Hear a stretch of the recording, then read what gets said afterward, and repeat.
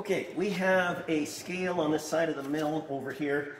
Something to keep in mind with your scale, and you have the same thing happens with a CNC. The precision thing, if there's no failure in the scale, and they all fail at times, the precision thing is where this scale is on this side of the way.